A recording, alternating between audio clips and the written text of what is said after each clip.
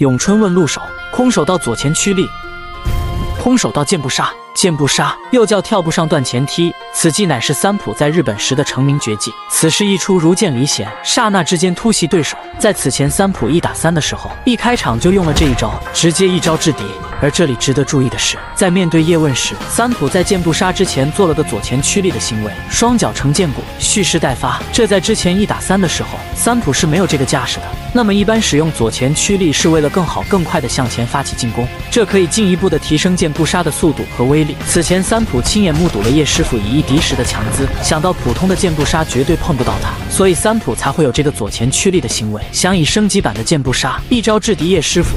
显然三浦没有得逞，后脚回旋踢，日字冲拳抢攻。空手道中段内格挡，两人这一对攻意味十足。中段内格挡其实是连手带攻的招式。我们看三浦的左手是屈臂格挡，而右手是直拳进攻。很明显，三浦是想告诉叶问，我们空手道招式的攻防之妙，并不比你们中国功夫差。而叶师傅更加嚣张，连手都不守，一轮日字冲拳强势输出，以不变应万变，霸气侧漏，直接回应对面进攻才是最好的防守。摊手冲锤，拍手沉肘，防守。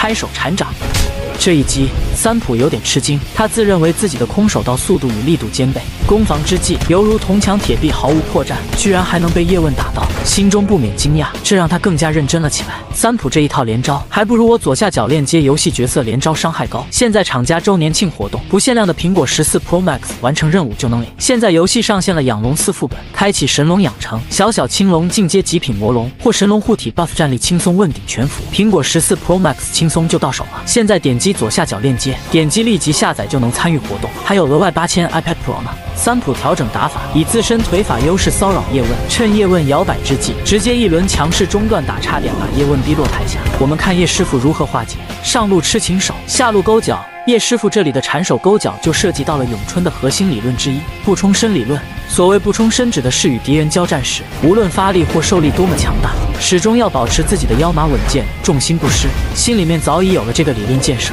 那么自然在处理危机情况时就不会过于慌乱。所以，我们看到叶师傅是很从容应对的。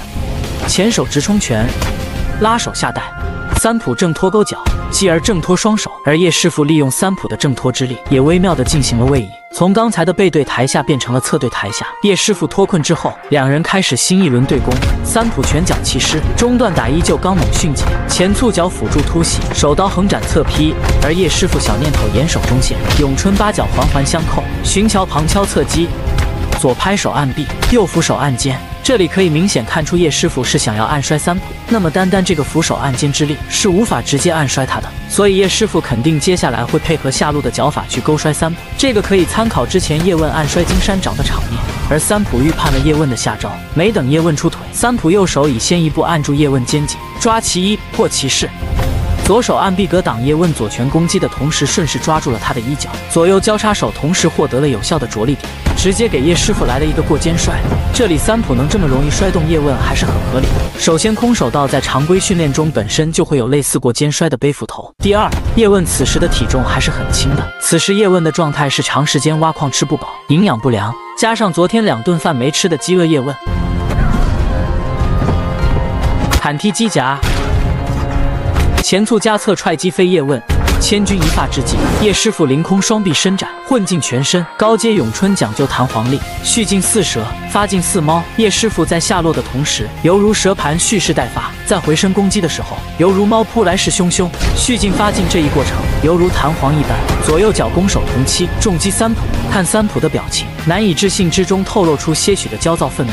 强势中断打在攻叶问，想要再次被摔，叶师傅梅开二度。但叶师傅怎么会在同一个地方吃两次亏？左手捆其臂，右手勾锤击其肋，破了三浦的再次抛摔。摊手外格，扶手混淆对方视线，蝴蝶掌击肋，日字冲拳击胸，侧掌击下巴，搂脚摔，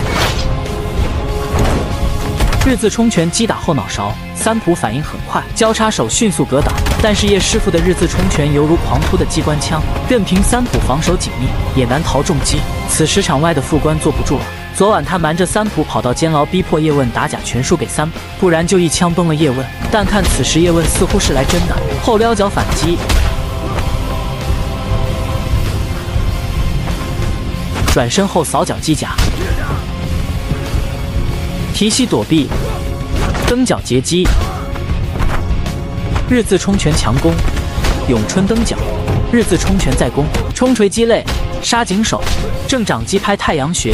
杀井手，这里叶问直接把三浦当做了木人桩。木人桩中的招式都是精简的动作，这类动作比普通的攻手更加奥妙，往往是借对方的变化而变化出来的进攻招式。当初李小龙成名之后，曾在亲访叶问，希望能学得咏春拳的木人桩法，并提出以一栋楼宇的代价，请叶问亲自示范全部咏春木人法，足以见得木人桩法之重要性。标指封喉，叶师傅这里收手了。我想，并不是因为叶师傅讲武德点到为止，而是因为考虑到重残三浦副官上位，可能会对佛山百姓带来更大的灾难。那么，纵观这场打斗，叶师傅显然还是游刃有余的，拳脚之间攻守同期，暗藏杀机，实力碾压三浦。而对于三浦的实力争议是比较大的，很多人都觉得他遇到了巅峰叶问，实力其实还是可以的。你们觉得呢？